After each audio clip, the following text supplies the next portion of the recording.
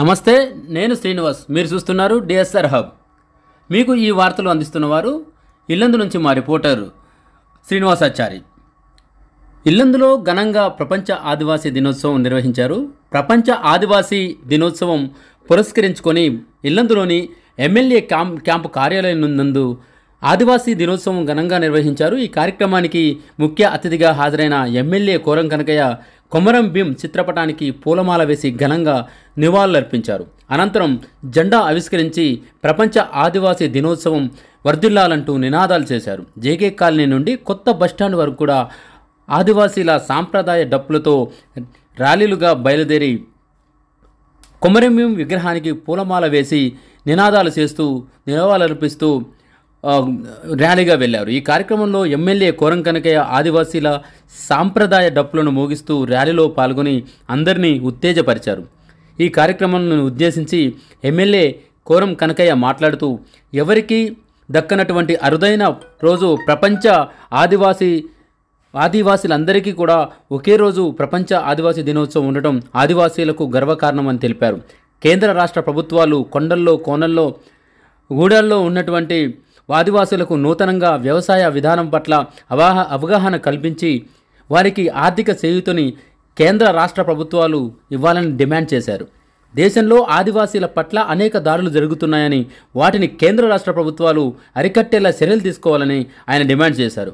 ఆయన ఏం మాట్లాడారో మనం ఒకసారి ఆయన మాటల్లో విందాం. ప్రపంచ ఆదివాసీ దినోత్సవ సందర్భంగా ఎల్లందు నియోజకవర్గ హెడ్ క్వార్టర్లో జరుపుకున్నటువంటి ఈ ఉత్సవాల కార్యక్రమానికి వచ్చినటువంటి ఆదివాసీ మాజీ సర్పంచులు మాజీ ఎంపీడీసీలు ఎంపీపీలు కాంగ్రెస్ పార్టీకి సంబంధించినటువంటి పార్టీ అధ్యక్షులందరూ వేదిక ముందు ఉన్నటువంటి ఆదివాసీ బిడ్డలు అక్కలు చెల్లెలందరూ పేరు పేరు నమస్కారం.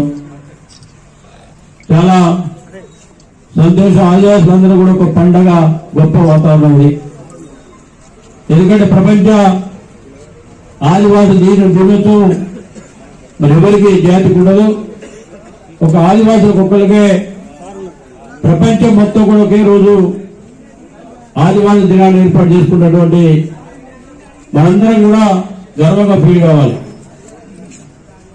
ఒకరు గుర్తుపెట్టుకోవాలి. రాష్ట్రాల్లో ఉన్నటువంటి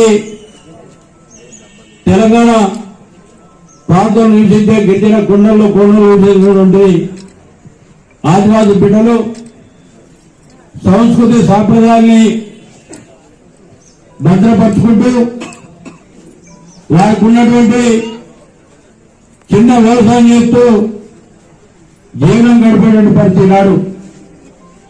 గతంలో మనిషి ఆదివాసి బిడ్డ పుట్టినప్పటి నుంచి ఇప్పటి వరకు ఒకే స్థితిలో ప్రపంచం మొత్తం కూడా మరి ఆదివాసి యొక్క స్థితిగతులు అంతా ఉన్నాయి.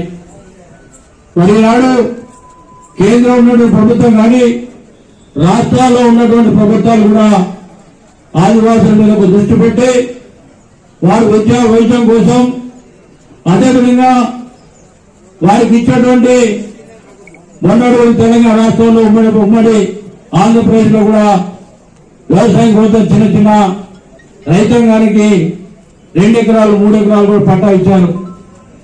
మరి వారందరూ కూడా ఆర్థికంగా పెరిగే విధంగా వాళ్ళకి విద్యుత్ కానీ అదేవిధంగా బోర్లు కానీ మన నూతన వ్యవసాయ విధానాన్ని పరిచయం చేస్తే ఈనాడు వాళ్ళు ఆర్థికంగా బలోపేతమవుతారు మరి అలాంటి పరిస్థితులు ఈ రోజు అన్ని ప్రభుత్వాలు కూడా ఆలోచన చేయాలి. దేశం మొత్తం ఉన్నటువంటి రాష్ట్రాల్లో ప్రపంచం మొత్తం ఒకే జాతిగా ఉన్నటువంటి జాతి ఒక ఆదివాసి జాతి మాత్రమే.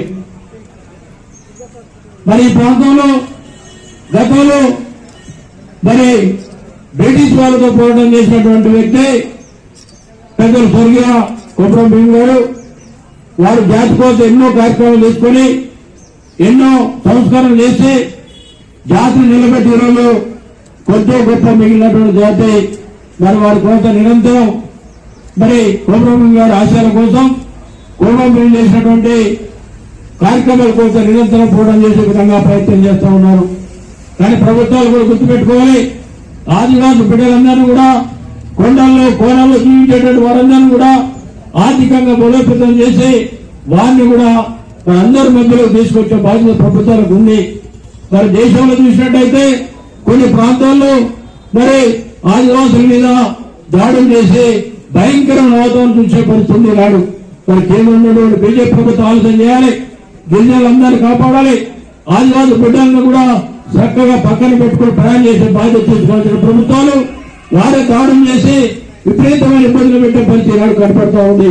దయచేసి అందరూ కూడా ప్రభుత్వాలను గుర్తించాలి. చివరిలో ఉన్నటువంటి కొండల్లో ఉన్నటువంటి వారిని కూడా కాపాడే బాధ్యత తీసుకోవాలని చెప్పి మరొకసారి విజ్ఞప్తి చేస్తూ